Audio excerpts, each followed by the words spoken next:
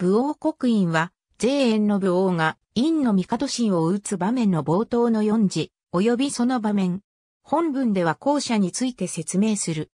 姫初の父の木政は、諸侯に幾度となく、討伐を進められたが、主君である、帝神を打つのは道に反するということで、これを退けた。木政なき後を継いだ、姫初は、太公望と呼ばれた、旅将の助けも借りつつ、父同様に前世を敷き、諸侯は、陰の帝神の下を離れ、州の姫初のもとに集った。そして諸侯に促され、姫初は、帝神を打つことを決意した。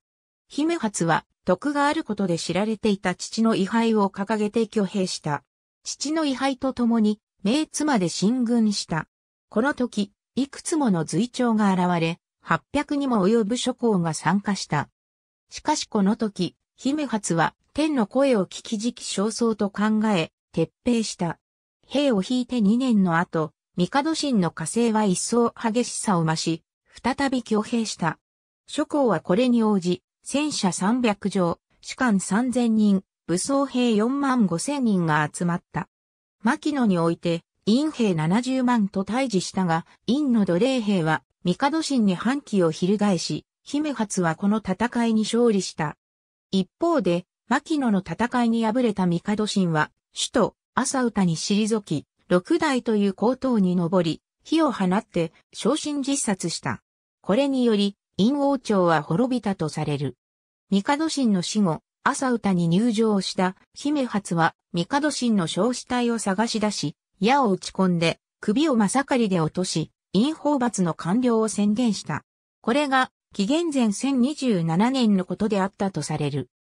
木政の考えと同じく、帝神を打たずに世を収まることを姫初に進言していた白衣、粛清は、これに反発して、州を去り、州の作物は食べられないと言って、主要山にこもり、草木を食べていたが、やがて餓死したとされる。芝千はこれについて、悪人とされた、東足浦も、比較対象として、テントゼジャヒジャと述べている。州を建てるにあたり、帝神の叔父の騎士を朝鮮に封じ、帝神の異母兄のほの後、慶を宋に封じ、陰の祭祀が絶えないようにした。また、親王の子孫を、小、皇帝の子孫を、祝、行の子孫を、あざみ、春の子孫を、陳、宇の子孫を子に封じ、古代の王たちの祭祀も継承するようにした。また、国士、軍師の旅将を祭、弟の周公丹をろ、飯公を、燕、監宿新を、管、祭宿道祭に封じた。大白の弟にあたる愚中の彦である終章をくれ、さらにその弟の愚中を、北方の恐れに封じた。また、後継に都し、武器を捨てることで、今後は平和を保つという意思を示した。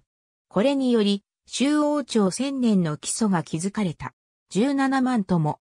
詳しくは、新農史を参照。ただし、夏、陰、周はすべて、皇帝の子孫にあたる。